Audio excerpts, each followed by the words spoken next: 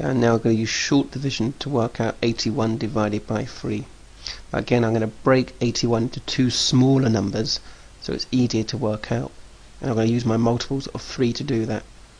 So I'm going to start off with 3 times 10 is 30.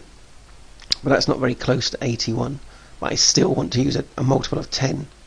So what I'm going to do is multiply by 20. 3 times 20 is 60. So I'm going to jot 60 down here.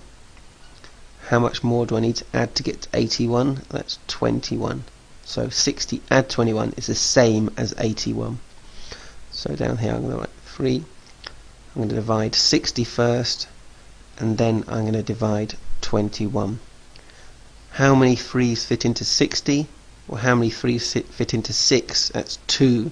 So how many 3's fit into 60? It must be 20, 10 times bigger. How many 3's fit into 21? So I'm going to use my 3 times tables. I know that 3 times 7 is 21.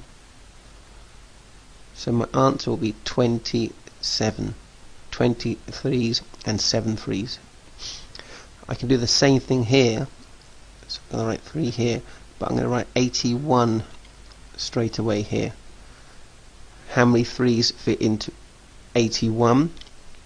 Well, I know there's 23's in 80, or two threes So I'm going to write that here.